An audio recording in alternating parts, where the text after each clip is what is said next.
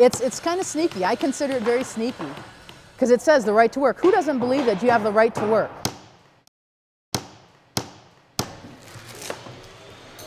Working in Minnesota as a whole is a very good thing. It's a very uh, progressive state, very friendly towards labor. The recession really has hit us hard. I mean, even just the label right to work is, you know, very clever, but very misleading. It really has nothing to do with a right to work per se. A right to work law seeks to prohibit what advocates label compulsory unionism, where workers in a unionized shop are forced to join the union.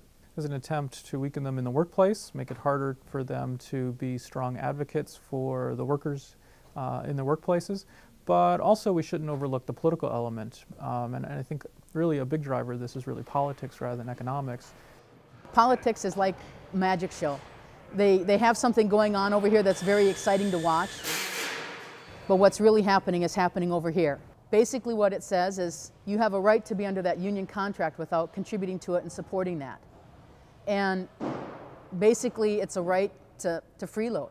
And it's really hard to find a, a strong effect um, in terms of right to work laws causing employment. Um, so for example, if someone's going to say, well, if Minnesota passes a right to work law and all of a sudden we're going to have job growth, um, that's completely misleading. Right? So we really need to be thinking about not only how to create jobs, but really how to create good jobs.